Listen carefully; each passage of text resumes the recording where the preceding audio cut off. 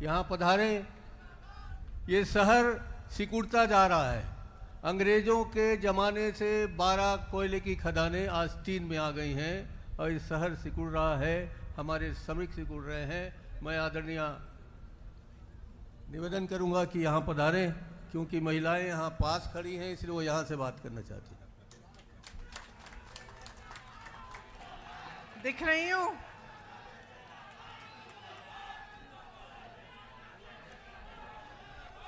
जय जोहार। आप सब काफ़ी समय से इंतज़ार कर रहे हैं ना? बहनें काफ़ी समय से बैठी हैं। गर्मी भी है बहुत। धन्यवाद। श्री भूपेश बघेल जी, श्री सचिन पायलट जी, श्री चरणदास महंत जी, श्रीमती ज्योत्सना महंत जी, श्री दीपक बैद जी श्री तामर ध्वज स्वाहू जी, मंच पर विराजमान सभी नेतागण, सभी पदाधिकारी, प्यारे कार्यकर्तागण, मेरी प्यारी बहनें, प्यारे भाई, आप सबका इस सभा में बहुत बहुत स्वागत। बहुत गर्मी है, काफ़ी समय से आप इंतज़ार कर रहे हैं। मैं आपको बहुत बहुत धन्यवाद देती हूँ कि मेरी बातों को सुनने के लिए आप इतनी दूर से आए हैं।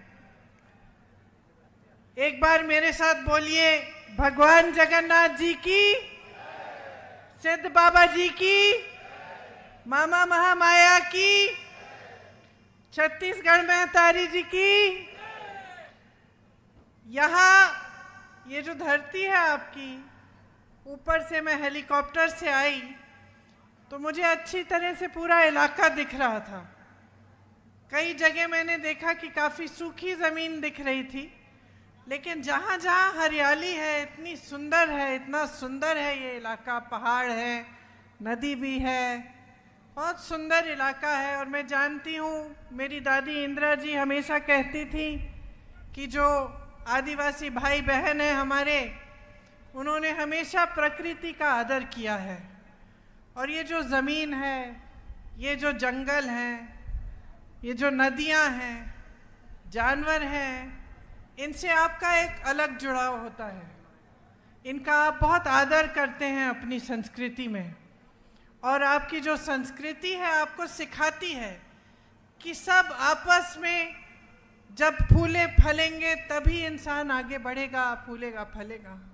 तो आप हमेशा चाहे प्रकृति की कुछ भी चीज़ हो, चाहे पेड़ हो, चाहे जैसे मैंने कहा, जंगल, जानवर हो, आप हमेशा उनका देखभाल करते हुए सबको अच्छा रखते हुए ही अपने समाज को आगे बढ़ाते हैं। तो ये बात मुझे बचपन में ही इंदिरा जी ने सिखाई थी। जो जो, जब जब वो आदिवासी क्षेत्र में जाती थी और उनके आदिवासी भाई बहन उनको कुछ देते थे, हमेशा अच्छी तरह से अपने घर में सजा के रखती थी। आज भी अगर उनके घर जाएँ तो आपको उनके कमरे में वो चीज़ें दिखेंगी, जो ख़ास तौर से यहाँ के जो छत्तीसगढ़ के आदिवासी भाई बहन हैं, उनकी कला और जो उनकी जो हस्तकला थी, वो चीज़ें आज भी उनके यहाँ, अगर जहाँ म्यूज़ियम बना है, वहाँ पे आप जाएँ तो आपको दिखेंगी। देखिए, यहाँ ये जो आपकी धरती है, यहाँ मजदूर यूनियन के जन्मदाता पंडित राम कुमार जी दुबे भी रहते थे, ये उनकी जन्मभूमि है। शिक्षा क्षेत्र में योगदान देने वाले विभूति भूषण लाहिड़ी जी का भी ये, की भी एक कर्मस्थली है। और भारत की अखंडता अखंडता में प्रमुख भूमिका निभाने वाले श्री रतनलाल मालवीय जी, पंडित ज्वाला प्रसाद उपाध्याय जी और बाबूलाल गुप्ता जी भी थे। ये आपके महापुरुष हैं, आपकी ज़मीन से उठे, लड़े इस देश के लिए, कोई आज़ादी के लिए, कोई शिक्षा दिलवाने के लिए तो किसी ने कोई और अच्छा काम किया। सबने अपनी भूमिका निभाई। हमारी इस धरती के लिए, आपके यहाँ इलाके के लिए, लेकिन पूरे देश के लिए भी। ये प्राकृतिक संसाधनों से भरपूर धरती है। आप मेहनती लोग हो। रास्ते में पायलट जी बता रहे थे कि यहाँ शुरू में हर प्रदेश से अलग अलग लोग यहाँ आए, बंगाल से आए, बिहार से आए, और यहाँ पे जो खदानें हैं, उनमें उनको रोज़गार मिला, यहाँ पे बसे। तो कुछ आपके पूर्वज अलग अलग प्रदेशों के भी होंगे और कुछ आप लोग इस प्रदेश के भी हैं। सबने यहाँ इस इलाके के लिए, अपने प्रदेश, अपनी धरती के लिए पूरी तरह से मेहनत की। उसको आगे बढ़ाने के लिए, अपने आप को विकसित करने के लिए, बच्चों के भविष्य बनाने के लिए। आपका जो छत्तीसगढ़िया समान है, सम्मान है स्वाभिमान है। वो देश भर में उसका नाम बना है। और मेरे पहले बघेल जी बोले, मैं आपसे कहना चाहती हूँ कि बघेल जी ने खूब कोशिश की आपके प्रदेश को आगे बढ़ाने की। और मेरे ख्याल से उन्हीं कोशिशों की वजह से सबसे ज़्यादा आक्रमण उन्हीं पे हुआ। उन्होंने जो छत्तीसगढ़िया स्वाभिमान की बात उठाई ये पहली बार पूरे देश भर में पहली दिल्ली में भी सबने देखा, सुना छत्तीसगढ़ के बारे में। मैं कहीं जाती थी, लोग मुझे कहते थे कि वहाँ पे तो बहुत तरक्की हो रही है। और लोग बात करते कि किस तरह से आपके प्रदेश को आगे बढ़ाया जा रहा है। तो जब ये काम तेज़ी से आपके प्रदेश में होने लगा तो जो बाकी जो राजनीतिक दल हैं, खास तौर से भाजपा को ये बात पसंद नहीं आई। क्योंकि उनकी राजनीति कुछ अलग है। मेरी बहनें, आप बैठी हैं, मैं चाहती हूँ आप बहुत गहराई से समझिए कि आज देश में किस तरह की राजनीति चल रही है। देश में कैसे नेताओं पर आक्रमण हो रहा है, कैसे नेताओं को आगे बढ़ाया जा रहा है, ये आपको समझना बहुत ज़रूरी है। देखिए, यहाँ चिरमिरी में सबसे पुराना जो कोयला का खदान है, यही है। है कि नहीं? सौ वर्ष पहले ये बनाया गया। यहाँ जो कोयले का क्षेत्र है, वो आगे, उसको आगे इंदिरा जी ने बढ़ाया। उन्होंने जो खदान है, उनका राष्ट्रीयकरण कराया, ताकि आप सबको रोज़गार मिले। यहाँ पे खुशहाली आए, और इसी के ज़रिए लाखों मजदूरों को रोज़गार मिला। आज जो देश में राजनीति है, वो एक तरह से गरीबों के विरोधी, मजदूरों के विरोधी, श्रमिकों के विरोधी, किसानों के विरोधी राजनीति चल रही है। आपको बातें तो बहुत बड़ी बड़ी बताई जाती हैं, खास तौर से जब भाजपा के बड़े बड़े नेता आपके सामने आते हैं। आपको बताते हैं कि देश में बहुत खुशहाली है, अर्थव्यवस्था बहुत मज़बूत हो रही है हम तेज़ी से आगे बढ़ रहे हैं। बहुत चीज़ें गिनाते हैं कि बड़े बड़े इवेंट किए हैं। बड़े बड़े विदेश के प्रधानमंत्री और राष्ट्रपति हमारे देश में आए हैं।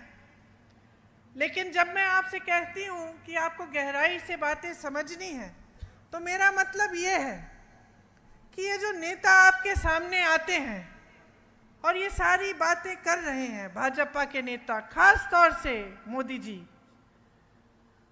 तो आपको गहराई से पूछना पड़ेगा अपने आप से कि भाई ये आपकी बात क्यों नहीं कर रहे हैं? आपकी समस्याएँ बहुत बड़ी हैं आज के दिन। है कि नहीं? मेरे भाई यहाँ खड़े हैं। है ना? आपकी बड़ी बड़ी समस्याएँ हैं, लेकिन उनकी बात इन मंचों पे नहीं हो रही है। इन मंचों पे जो बात होती है, वो बड़े बड़े इवेंट की बात होती है। कोई जी ट्वेंटी बोलता है, कोई पाकिस्तान की बात करता है, कोई चीन की बात करता है।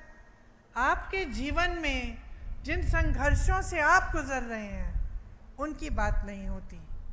आज यहाँ आप ही के इलाके में हालात क्या है? कई खदानें बंद हो गई हैं। हुए हैं कि नहीं? हुए हैं ना? और कईयों का निजीकरण हो गया है। बघेल जी ने बोला बड़े बड़े खरबपति अडानी जी को दिए गए हैं। कांग्रेस के ज़रिए ये बनवाए गए। यहाँ पे कोरबा कोल फील्ड्स थी, सुपर थर्मल पावर स्टेशन बनाए। लेकिन मोदी जी ने लगभग सब कुछ आस्ते आस्ते अपने बड़े बड़े खरबपति मित्रों को दे दिया है। यहाँ के खदान, देश के बंदरगाह, देश के हवाई अड्डे सारी सड़कें, बिजली पावर ये सारी चीज़ें अब अपने बड़े बड़े खरबपति मित्रों को सौंप दी हैं। ये सब चीज़ें, बहनों और भाइयों, ये सब संपत्ति किसकी है? ये संपत्ति मोदी जी की नहीं है। ये संपत्ति किसी नेता की नहीं है। ये देश की संपत्ति है। देश की संपत्ति आप अपने आँखों के सामने आपने देखा।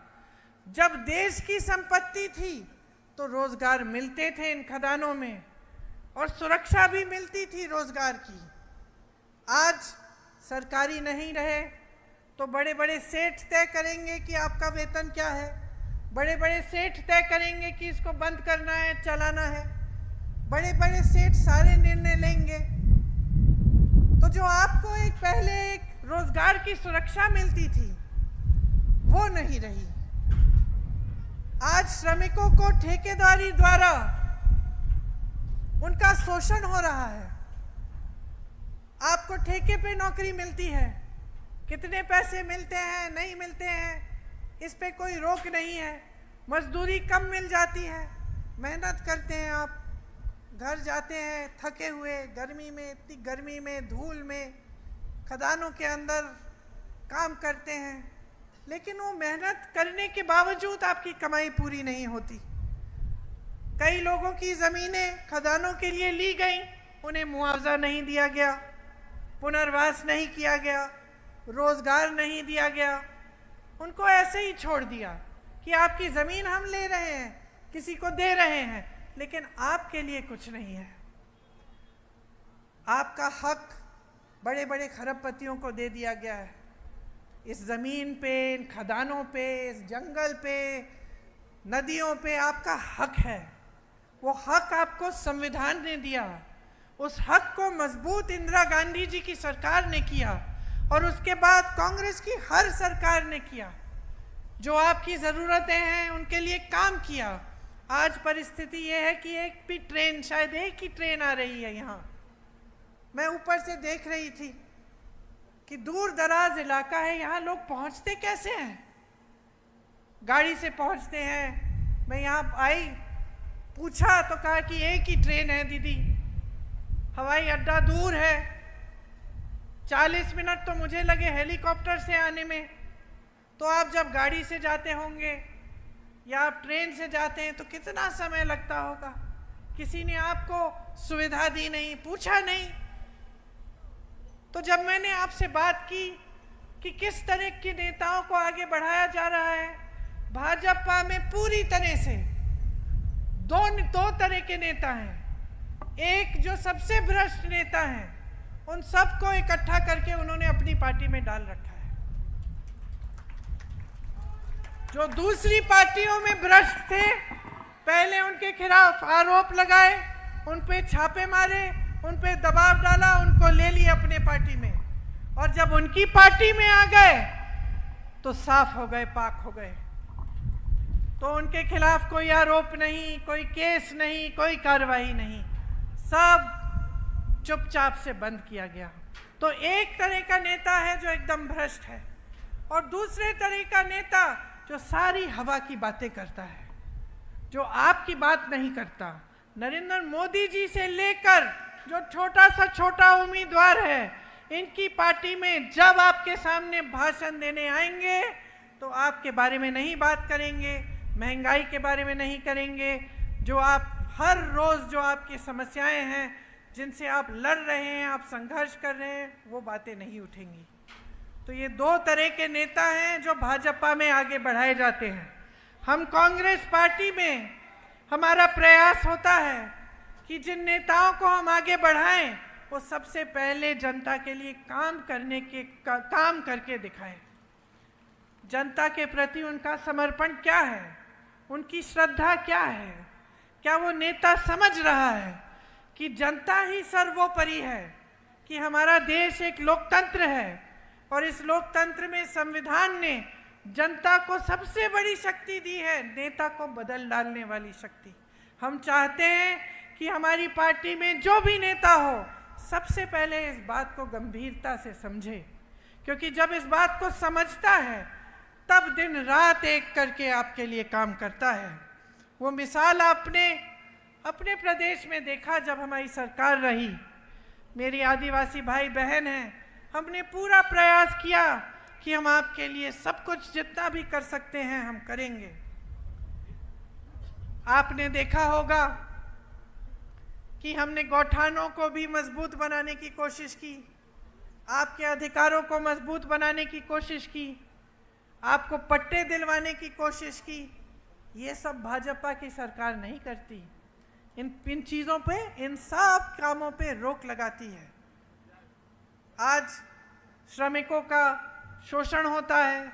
जैसे मैंने कहा, पता नहीं चलता कितना वेतन कौन देना चाहता है, वो दे देता है। हम अपनी पार्टी में ये प्रयास करना चाहते हैं कि आपके साथ न्याय हो। बघेल जी ने न्याय की बात की। हमने जो घोषणा पत्र निकाला है इस चुनाव में, उसका आधार यही है कि जो नेता हैं, सब आपके प्रति समर्पित रहें और जो सरकारें रहें, वो भी आपके प्रति समर्पित रहें और आपके लिए आपकी सेवा करें। उस पत्र को हमने घोषणा पत्र नहीं, न्याय पत्र का नाम दिया। न्याय पत्र का नाम इसलिए दिया क्योंकि सबसे ज़्यादा अन्याय नरेंद्र मोदी जी के 10 सालों की सरकार में आपके साथ हुआ है। किसी बड़े खरबपति के साथ अन्याय नहीं हुआ। बड़े बड़े उद्योगपतियों के साथ नहीं हुआ। बड़े बड़े नेताओं के साथ अन्याय नहीं हुआ। वो सब आगे बढ़ रहे हैं। वो सोचते हैं आपका वोट ले लेंगे धर्म के नाम पर। इधर उधर की बातों करके और उनको काम नहीं करना पड़ेगा। बघेल जी, एक बार यूपी में आए जब मैं वहाँ काम कर रही थी। और मैंने कहा, बघेल जी, आप कुछ व्यापारियों से मिल लीजिए। उनसे बातचीत कर लीजिए, उनसे पूछिए उनकी समस्याएँ क्या है। तो एक घंटे बैठे व्यापारियों के साथ। और उसके बाद जब मैं मिली, मैंने पूछा, कैसी रही आपकी मीटिंग?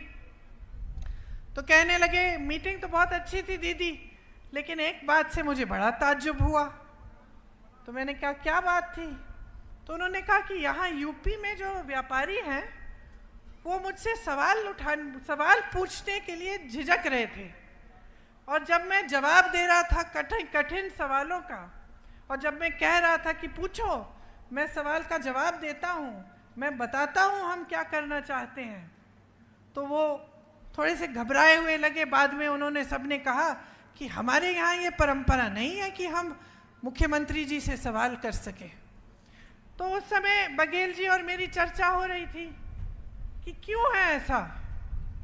और उन्होंने मुझे बताया, क्योंकि देखिए दीदी, जो चर्चा उत्तर प्रदेश में हो रही है, क्योंकि भाजपा की सरकार है, जो चर्चा हो रही है, वो धर्म की चर्चा हो रही है, वो जाति की चर्चा हो रही है तो नेता समझ गया है कि उसे काम करने की ज़रूरत नहीं है।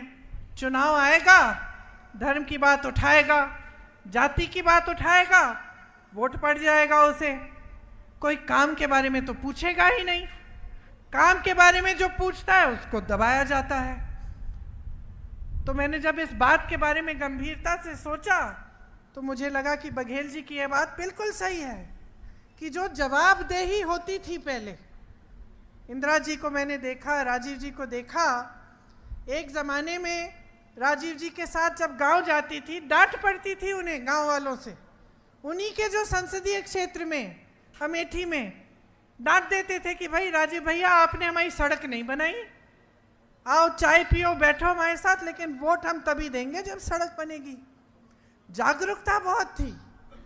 प्रधानमंत्री से सवाल उठा सकते थे कि हमारी सड़क क्यों नहीं बनाई? आज वो जागरूकता जो है कम हो गई है। आज आपके सामने नेता आते हैं, आपको उकसा देते हैं, धर्म की बातें कर लेंगे, कह देंगे कि आपका धर्म संकट में है या फिर आपकी परंपराएँ सुरक्षित नहीं है और उसी के आधार पर फिर आपका वोट ले लेंगे। तो फिर नेता को लगने लगा है कि मुझे काम करने की ज़रूरत ही नहीं है, चाहे आपको सड़क मिले, पाठशाला मिले सही वेतन मिले, रोज़गार मिले, उसको कोई परवाह नहीं है। वो तो जानता है, वोट तो उसको मिलना ही है। उसको बस धर्म का नाम लेना है। तो ये जो सिलसिला है, ये आपकी जागरूकता से ही खत्म होगा। और आपकी जागरूकता कब आएगी? जब आप समझेंगे कि जो संविधान है हमारा, उसने आप ही क्यों शक्ति दी है? जिस आंदोलन में हम सब आज़ाद, ये देश आज़ाद हुआ उस आंदोलन में जो बड़े बड़े नेता लड़े, किस लिए लड़े?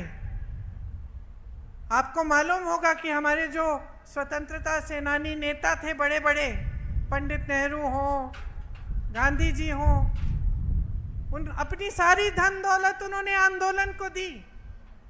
वो शोहरत के लिए, शान के लिए, सत्ता के लिए थोड़ी लड़े। वो तो इसलिए लड़े ताकि आपको अपने अधिकार मिले।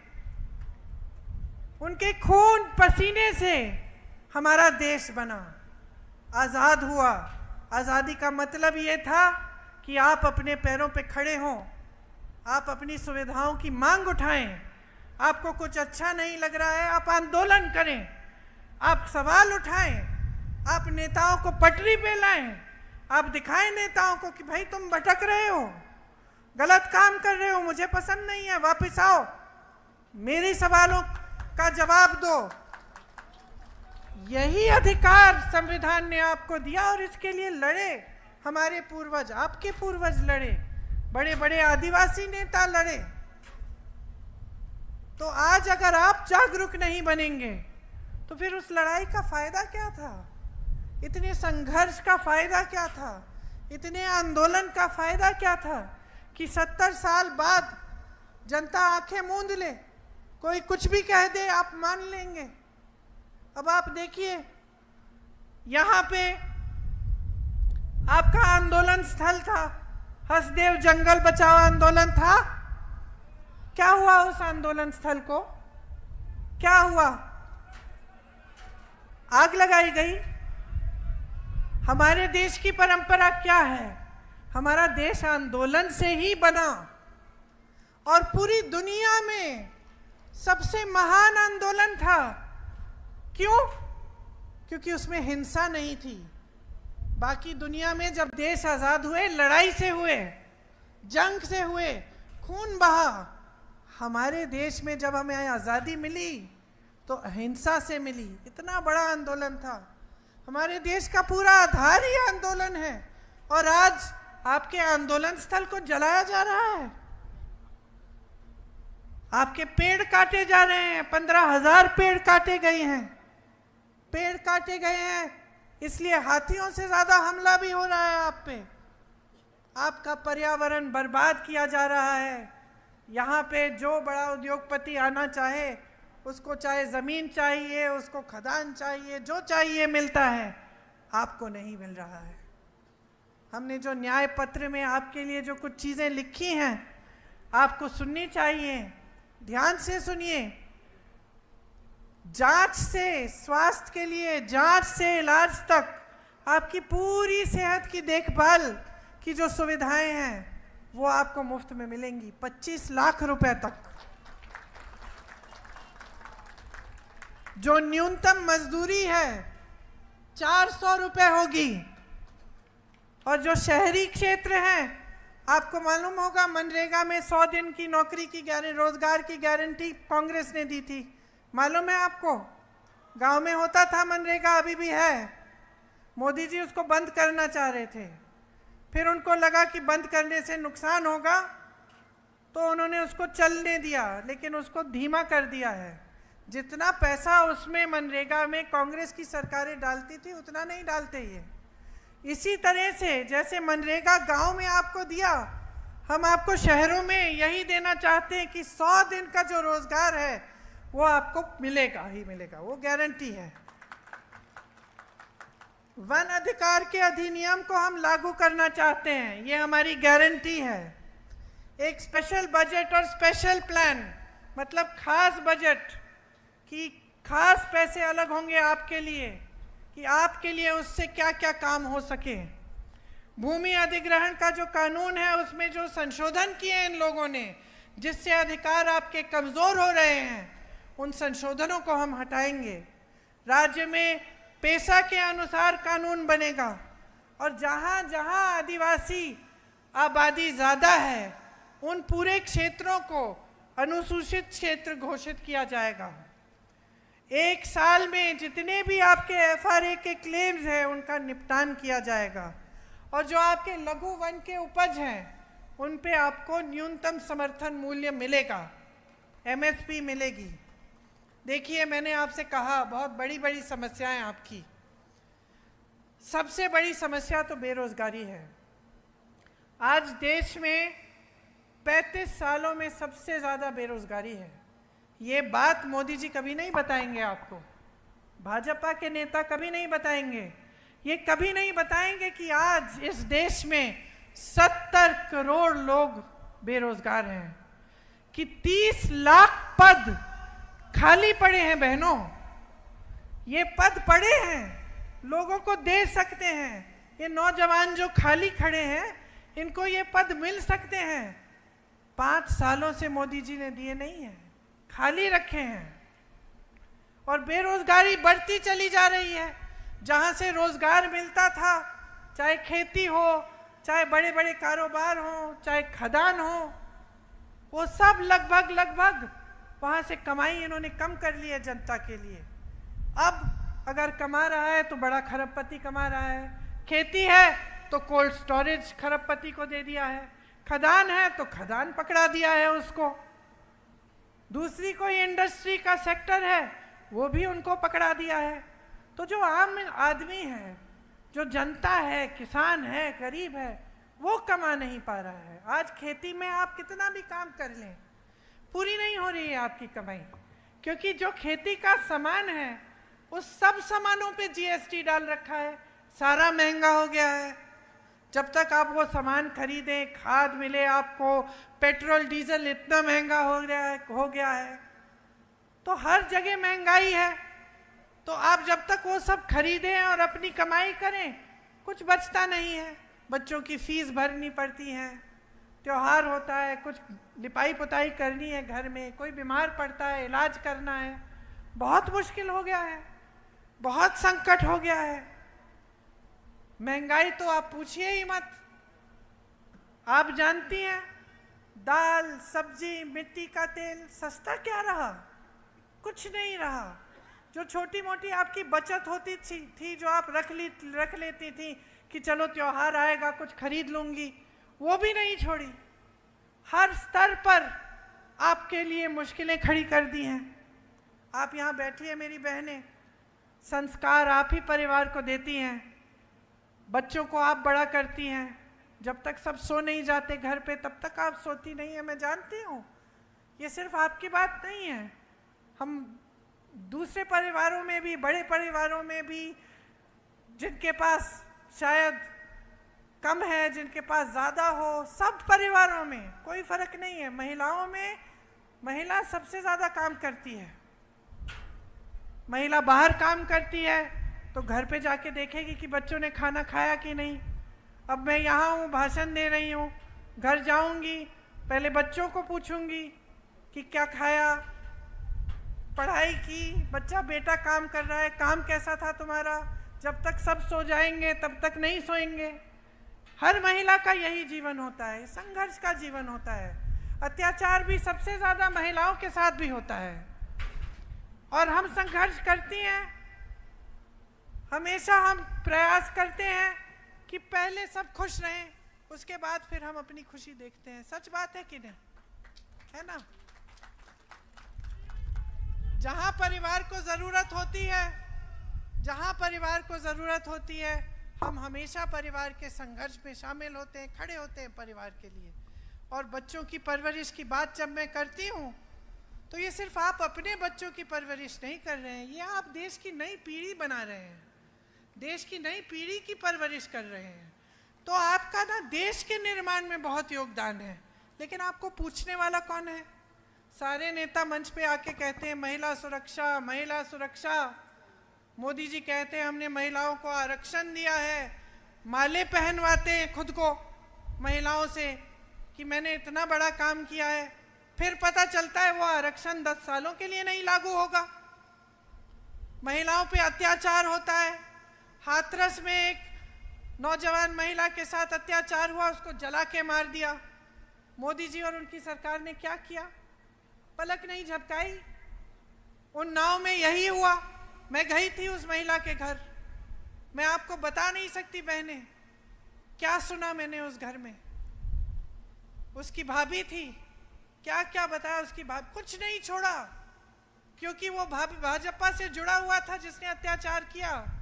कुछ नहीं छोड़ा उस घर में। उसके पिताजी को पीटा, उसके भाइयों को पीटा, उसकी भाभी को धमकाया, नौ साल की भाभी की बेटी को धमकाया कि तुम पाठशाला मत आओ, तुमको भी दिखाएँगे। उस महिला को जला दिया, उसके पिताजी के खेत भी जला डाले। कोई ऐसा अत्याचार नहीं बचा जो नहीं किया। लेकिन भाजपा के नेताओं ने एक शब्द नहीं बोला उसके पक्ष में। जहाँ जहाँ अत्याचार हो रहा है दो, जो अत्याचार कर रहा है, उसे बचा रहे हैं। ओलंपिक की मेडल लाई संघर्ष करके हमारी बहनें, बच्ची हैं बीस बाईस साल की।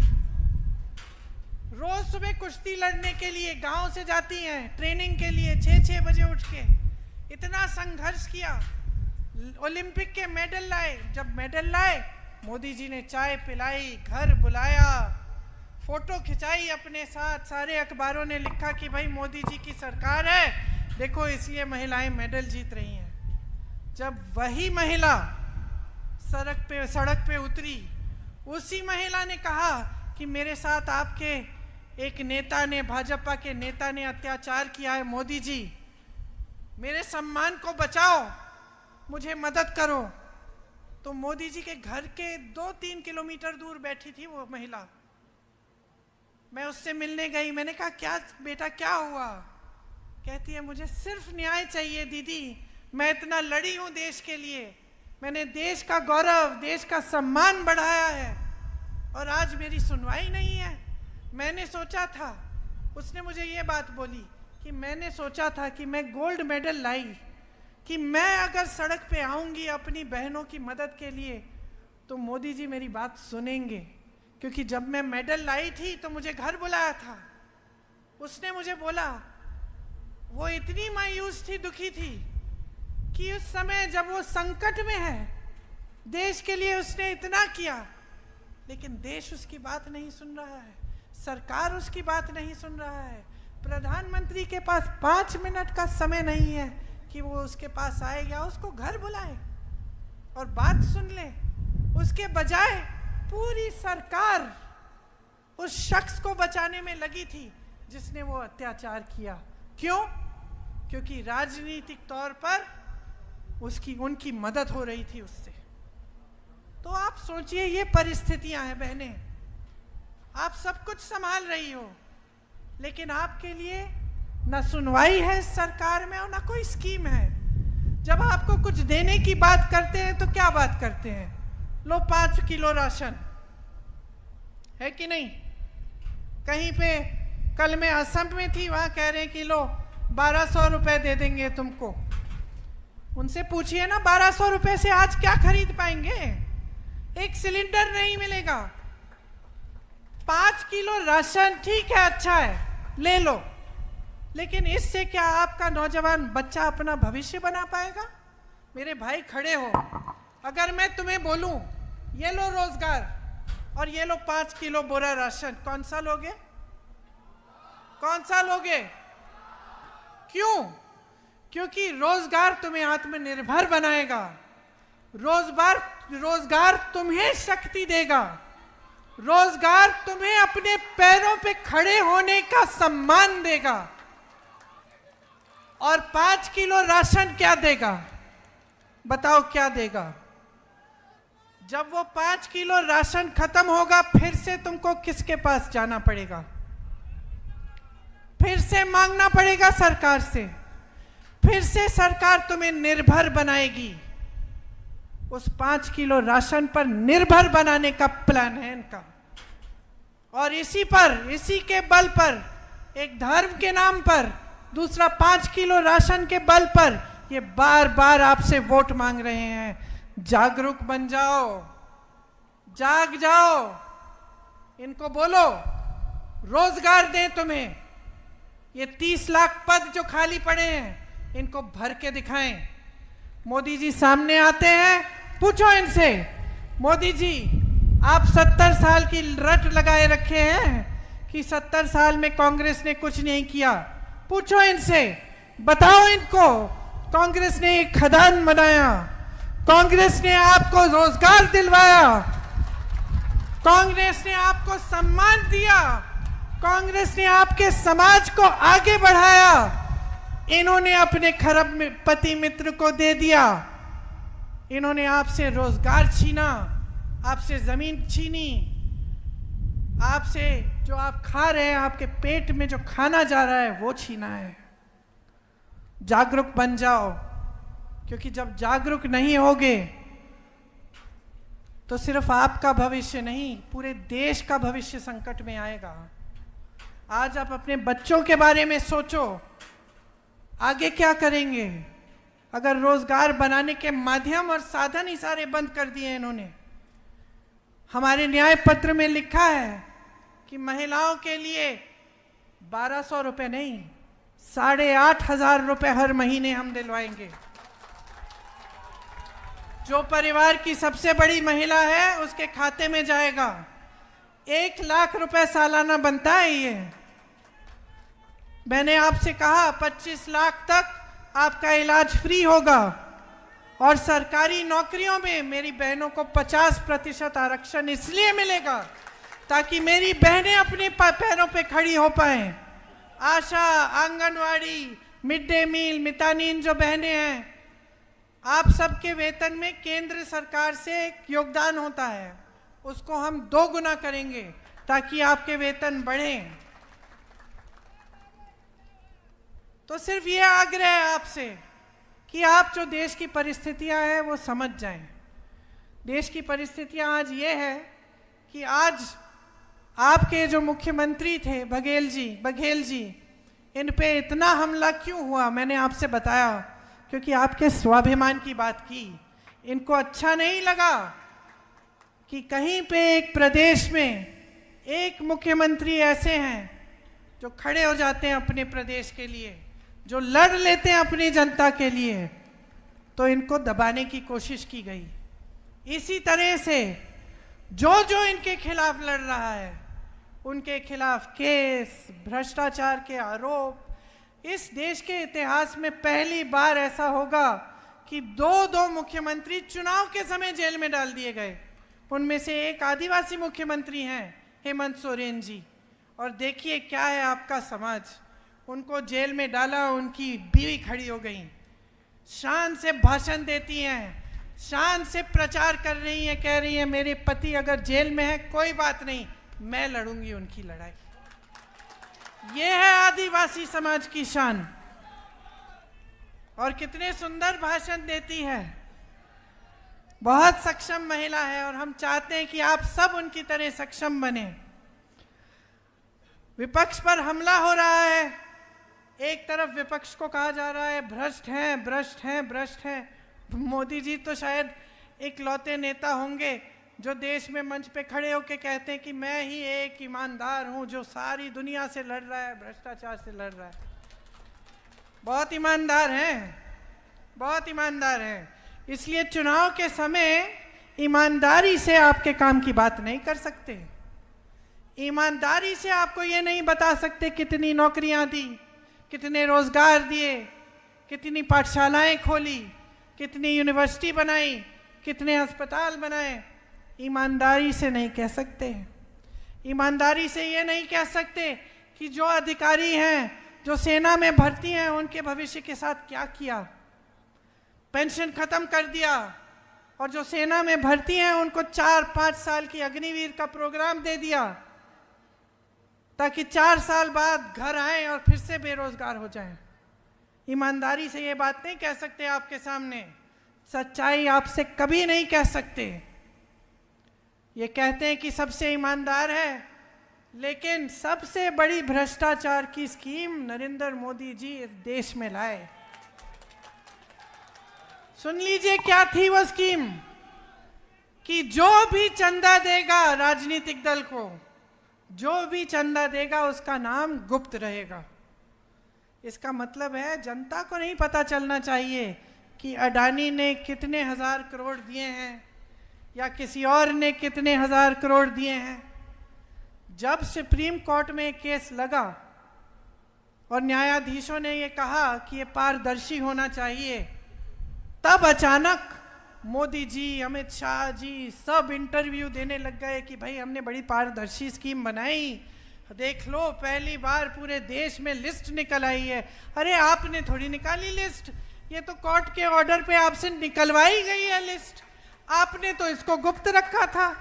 और सुनिए क्या गुप्त रखा था। गुप्त ये रखा था कि हज़ारों करोड़ रुपए इन्होंने अपने बड़े बड़े खरबपति दोस्तों से लिए तो हैं, लेकिन ऐसे ऐसी कंपनियों से लिए हैं, जिन पे पहले इन्होंने छापा मारा। छापा मारा, चंदा लिया, छापे बंद। केस डाले, चंदा लिया, केस बंद। या फिर ठंडे बस्ते में वो गुजरात में पुल गिरा। सैकड़ों लोग उसमें गिर के बह गए पानी में। याद है आपको? उस पुल को बनाने वालों से चंदा लिया। वैक्सीन लगी थी आपको कोविड के समय। लगी, टीका लगा था? लगा था। सबको लगा। वो याद है आपको? यूँ टीके की सर्टिफिकेट मिलती थी। किसका चेहरा था उस पर और ज़ोर से बोलो। था ना? मोदी जी का चेहरा। आज जरा देखो सर्टिफिकेट बनवाने की कोशिश करो, चेहरा नहीं होगा। अब फ़ोटो नहीं छप रही है मोदी जी की, क्यों? क्योंकि उस टीके को बनाने वाली कंपनी से इन्होंने चंदा लिया और आज आज बाहर क्या आया है? बड़ी मेडिकल रिपोर्ट बाहर आई है। कि काफ़ी लोग उस टीके को, जब उस, वो टीका लगा तो उसमें से एक दो प्रतिशत लोग ऐसे हैं जो गिर के मर गए। किसी को पता नहीं चला कि क्यों गिर के मर रहे हैं। कोई मंच पे खड़ा भाषण दे रहा है, भगवान ना करे। लेकिन कोई मंच पे खड़ा भाषण दे रहा है, या फिर फिर कोई खेती में काम कर रहा है। कई ऐसे लोग शहरों में, जिम में, जिम कर रहे थे। नौजवान अच्छी सेहत के 30-40 साल की उम्र गिर के मर गए। पहले समझ में नहीं आ रहा था कि क्या है। आज उस कंपनी ने कह दिया कि हाँ ऐसा है कि कुछ एक दो प्रतिशत लोगों को ऐसा हो सकता है। तो आप सोचिए, इन सबसे चंदा लिया, बाकायदा चंदा गुप्त लेने की स्कीम बना दी और अपने आप को ईमानदार कहते हैं। भ्रष्ट नेताओं को अपनी पार्टी में लेते हैं, धो देते हैं, जैसे रिन वाले साबुन से धुलाई होती है ना? चमका देते हैं उनको। काले धंधे सारे साफ़ हो जाते हैं, सफ़ेद हो जाते हैं। कोई गंगा मैया तो है नहीं बीजेपी, कि उसमें डुबकी मारो और आप के पाप धुल जाएँगे। है ना? वॉशिंग पाउडर लगाते हैं, सब साफ़ हो जाते हैं। बघेल बघेल जी कह रहे हैं, मोदी वॉशिंग पाउडर है। तो ये सच्चाइयाँ नहीं कहेंगे आपके सामने। तो आपको कैसे समझ में आता बात आएगी? मैं मोदी जी का भाषण देख रही थी और मैं देख रही थी कि जो मैं उनके बारे में कहती हूँ, वही हमारे बारे में वो कह रहे हैं। है कि नहीं? आप चलाइए। वो कहेंगे, हम भ्रष्ट हैं। हम कह रहे हैं, वो भ्रष्ट है। वो कहेंगे कि इन्होंने कुछ नहीं किया। हम विकास कर रहे हैं। हम कह रहे हैं, भाई, हमने विकास किया है, वो कुछ नहीं कर रहे हैं। वो हमें कुछ कहते हैं, हम कुछ कहते हैं। अब आप जनता हो, कैसे समझोगे कि ये मोदी जी सच कह रहे हैं या कांग्रेस के नेता सच कह रहे हैं, बताओ? हा? देखो, बहने, घर में शादी होने वाली होती है ना लड़का देखने जाती हो, क्या देखती हो सबसे पहले? मैं बताऊँ, अगर मेरी लड़की की शादी हो रही होती तो मैं सबसे पहले क्या देखती कि लड़के की नीयत क्या है? है ना? ठीक है, काम करता है, मेहनती है, ये सब ठीक है, लेकिन नियत क्या है? नियत सही नहीं है तो शादी नहीं होगी। सही बात? तो नेताओं में नियत क्यों नहीं ढूंढते? समझदार हो इतने। जो नेता बार बार आपके सामने आके कुछ इधर उधर की बातें करके चले जाता है, चुनाव के बाद मुँह नहीं दिखाता, चुनाव के बाद ना आपकी टूटी से पानी आ रहा है, ना आपकी सड़क बन रही है, ना आपका बच्चा पाठशाला जा पा रहा है, ना नौजवानों को रोज़गार मिल रहा है तो उसकी नियत पे सवाल क्यों नहीं उठाते? नियत पे सवाल उठाओ। और अपना जो जीवन है ना उसके अनुभव पर उतरो। किसी की बातों में मत पड़ो। मैं यहाँ से चली जाऊँगी, आपको लगेगा, ठीक है, अच्छी बात बोली इसने। कहीं और, कोई और आ जाएगा, फिर आपको उसकी बात अच्छी लग जाएगी। तो अब बीच में आप अटके हुए हो तो क्या करना है? अपने जीवन के अनुभव को देखो। पिछले दस सालों में आपके जीवन में तरक्की आई है कि नहीं आई है? आपके बच्चों को रोज़गार मिला है कि नहीं मिला है? जो गाँव में पाठशाला है, वो पहले से अच्छा हुआ कि नहीं? मैं जानती हूँ आपके यहाँ बघेल जी ने बताया मुझे कौन सा पाठशाला? आत्मानंद। आत्मानंद पाठशाले में आपको मुफ़्त मिल रही थी शिक्षा। भाजपा की सरकार आई, अब फ़ीस भरनी पड़ रही है। तो ये किसका अनुभव है? आपका अनुभव है। आपको एक रोज़गार छूट रहे हैं, क्योंकि भाजपा की सरकार बड़े बड़े खदान, बड़े उद्योगपतियों को दे रही है। किसका अनुभव है? आपका अनुभव है। कोई बीमार पड़ता है, स्वास्थ्य की सुविधाएँ नहीं है, पैसा नहीं है इलाज के लिए, किसका अनुभव है? आपका अनुभव है। राजस्थान में कांग्रेस की सरकार थी 25 लाख तक इलाज फ्री मिल रहा था। ये जनता का अनुभव है। तो आपका जो अनुभव है ना, सबसे ज़रूरी, सबसे महत्वपूर्ण चीज़ यही है। संविधान जो है, इस देश का इसने यही आपको शक्ति दी है कि जब आपका अनुभव सही होता है, आप जागरूक रहते हैं तो आप वोट डालते हैं अपने नेता को चुनने के लिए। आज यही नेता मोदी जी क्या कह रहे हैं? संविधान को बदल डालेंगे। खुद तो नहीं कह रहे, खुद इसको नकारते हैं, लेकिन जो इनके नेता जाके चुनाव लड़ रहे हैं उत्तर प्रदेश में जो चुनाव में उम्मीदवार बने हैं, जो इनके मंत्री हैं, ये कह रहे हैं 400 हमें सीट दे दो इस बार। देख लेना, हम इस बार संविधान को बदलेंगे। अब जब ये बात कुछ समुदायों में फैली, जैसे आपका जो समुदाय समुदाय है, आदिवासी समुदाय है, इसको बहुत शक्ति, आपको बहुत शक्ति दी है संविधान में। अब जब ये बात फैलने लगी तो इनको लगा मोदी जी को, अब हम संकट में आ जाएँगे क्योंकि जनता को ये बात पसंद नहीं आ रही है।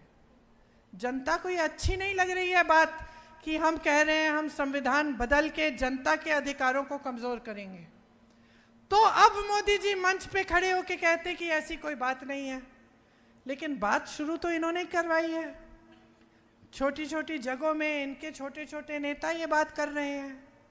तो देखिए ये इनका सिलसिला होता है। बहुत बार इन्होंने ऐसा किया है। पहले ये नकारते हैं कि हम ऐसा नहीं करेंगे। जैसे ही सत्ता में आते हैं, वही चीज़ करते हैं जिसको नकार रहे थे। और ये हर स्तर पर आपके अधिकारों को कमज़ोर करने का काम कर रहे हैं दस सालों से।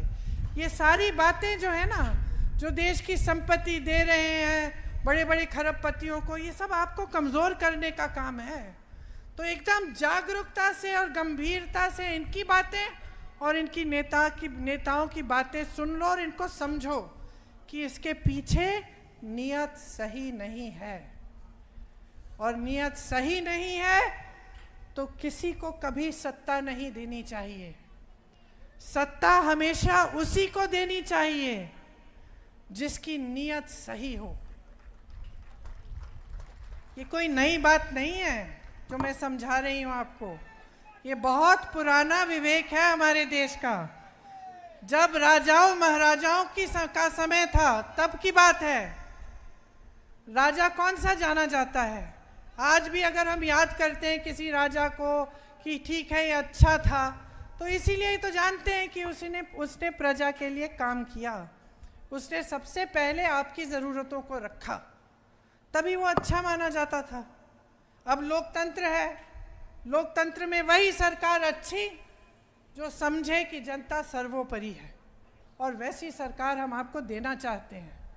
इंदिरा गांधी जी ने दी, उनके बाद तमाम नेताओं ने दी। मुझे याद है, मेरे पिताजी काम करते थे साढ़े चार बजे तक सुबह। और कभी कभी मैं देखती थी कि घर आए हैं, नहा के, कुछ खा के, फिर से निकल गए छः बजे। क्यों? अपना जीवन क्यों दिया इस देश के लिए? इन सब नेताओं ने, सिर्फ़ मेरे परिवार ने नहीं। जिस नेता की नीयत अच्छी थी, क्यों? इस देश को मज़बूत बनाने के लिए। जिस तरह से आप खेती करते हैं, आप किसानी करते हैं, अपने परिवार को मज़बूत बनाने के लिए, लेकिन आप देश के अन्नदाता भी हैं, देश को भी मज़बूत बनाते हैं। उस तरह से मेरी बहनें, जैसे मैंने कहा, परवरिश करती हो, बच्चों की तो नई पीढ़ी की परवरिश कर रही हो, देश के भविष्य के निर्माता हो। जो मजदूरी करता है, देश के लिए भी इमारत बना रहा है। सबका देश में योगदान है, सबका देश है, सबकी धरती है, सबका पसीना है इसमें, सबका खून है इसमें। इसीलिए चुनाव के समय एकदम गंभीरता से अपने वोट को समझो। जो आपके लिए काम करेगा, जिसने काम करके दिखाया है, जो आपके जीवन के अनुभव में दिख रहा है काम, टीवी पे नहीं, जो तरक्की आपके जीवन में दिख रही है, उसके आधार पर अपना वोट डालो। यहाँ हमने कोरबा के लिए भी कुछ चीज़ें सोची हैं। हमने सोचा है कि सर्वे कराकर नए कोयला जो है उसके लिए एक आधारित उद्योग खुलवाएँगे खुलवाएँगे। आपने जो कास्ट माइनिंग से जो आपकी ज़मीनें बर्बाद हुई हैं, उनको समतल कराया जाएगा ताकि वहाँ आपकी आबादी बस पाए।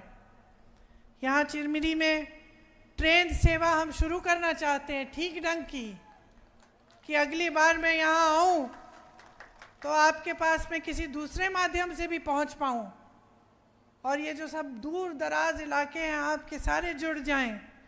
किसी को मिलने जाना हो, रिश्तेदारों को कहीं और रह रहे हैं, आप जा पाए सुविधा से। बाज़ार मूल्य से चार गुना अधिक मुआवजा हम आपको देना चाहते हैं, जब आपकी ज़मीनें ली जाती हैं। कांग्रेस की जो गारंटीज़ हैं, जो हम इस चुनाव में आपको देना चाहते हैं, उनको आप ठीक ढंग से समझिए। जो तीस लाख पद मोदी जी ने खाली रखे हैं, उनको हम भरना चाहते हैं, नौजवानों को रोज़गार देना चाहते हैं। जो स्नातक पास होता है, उसको एक लाख की हम अप्रेंटिसशिप दिलवाना चाहते हैं। मतलब आपने पढ़ाई की माँ बाप ने मेहनत से पढ़ाया, रोज़गार नहीं मिल रहा है। हम चाहते हैं कि हर नौजवान को एक ऐसी अप्रेंटिसशिप मिले, जैसे जो अमीर लोगों के बच्चों को मिलती है कि जब पक्के रोज़गार से पहले एक नौकरी मिल जाती है, उसमें थोड़ा सीख भी लेता है और कमा भी लेता है। तो उसको अप्रेंटिसशिप कहते हैं। हम चाहते हैं कि आपके लिए भी ये सुविधा हो और ऐसे ही नौजवान एक लाख रुपए सालाना कमा पाए। एमएसपी जो है, जो किसानों को मिलनी चाहिए, मैंने पहले आपसे कहा कि जो आपके जो मूल खेती है, उसके लिए भी हम ये सुविधा कराएँगे। लेकिन हम कानून बनाएँगे कि आपको न्यूनतम समर्थन मूल्य मिलना ही है। ये आपका अधिकार बन जाएगा किसानों का। खेती के सारे सामानों पे जिस पे आप जीएसटी दे रहे हो, इन सब सामानों को हम जीएसटी से मुक्त करेंगे। आपके फ़सल का नुकसान होता है, तीस दिनों में भुगतान आपको हम देना चाहते हैं। और माफ़ करिए, शायद मैंने पहले कहा, लेकिन चार जो, चार गुना भुगतान है, वो हम कोशिश करते हैं कि आपको वो मिले। भूमिहीनों को ज़मीन दी जाएगी और न्यूनतम मजदूरी यहाँ पे 400 पूरे देश में 400 रुपए की होगी। इसका मतलब है कि कोई ठेकेदारी पे भी आपको अगर नौकरी दे तो कम से कम उसे 400 रुपए की दिहाड़ी आपको देनी ही पड़ेगी। तो ये सब हमारी आपके लिए गारंटी है। अब आपने खुद अपने अनुभव से देखा कि जब हमारी कांग्रेस की सरकार थी तो जितनी हमने गारंटी आपको दी थी, चाहे किसानों के कर्ज माफ़ करने की, चाहे हमने आपको 35 किलो राशन दिया, ये सब हमने आपको करके दिखाया। तो अब जो चुनाव आ रहा है, उसमें अगर आप कांग्रेस पार्टी को जिताएँगे, अपने ही विवेक से, अपनी ही समझदारी से आप हमारी उम्मीदवार के पक्ष में वोट डालेंगे। तो आप अपना ही तरक्की, अपनी ही तरक्की कराएँगे और अपना ही भविष्य उज्जवल करेंगे। तो मैं आपसे आग्रह करती हूँ कि ये सारी गारंटी अगर आप अपने जीवन में उतरते हुए देखना चाहते हैं, अगर आप अपने जीवन के अनुभव को बेहतर बनाना चाहते हैं अपने बच्चों के भविष्य को उज्जवल बनाना चाहते हैं तो आप कांग्रेस को वोट दीजिए। मुझे यकीन है कि जब आप सारे नेताओं के भाषण सुनेंगे और ध्यान से, बारीकी से उनकी बातों को समझेंगे तो आपको समझ में आ जाएगा कि किसकी नीयत ठीक है और किसकी नीयत गलत है। आप सबको बहुत बहुत धन्यवाद। बहुत ध्यान से मेरी बातें सुनी। हो सकता है कुछ बातें छूट भी होगी, छूटी भी होंगी। उसके लिए क्षमा चाहती हूँ। जय हिंद। आप सबने एक भारत की बेटी की आवाज़ सुनी है। आप सबने अपनी बेटी की आवाज़ सुनी है। आप सबने अपनी बहन की आवाज़ सुनी है। आप सबने एक माँ की आवाज़ सुनी है। और इस आवाज़ को सुनाने के लिए मैं आदरणीय दीदी को बहुत बहुत धन्यवाद देता हूँ। बहुत बहुत आभार व्यक्त करता हूँ। पहली बार आपके परिवार से कोई यहाँ आया। इस गरीब गाँव में, सिकुड़ते हुए शहर में श्रमिकों के बीच, उसके लिए आपका बहुत बहुत आभार। नज़ीर भाई से चाहूँगा कि आए और हम सबका, इन साथियों का आभार व्यक्त करें। नज़ीर भाई।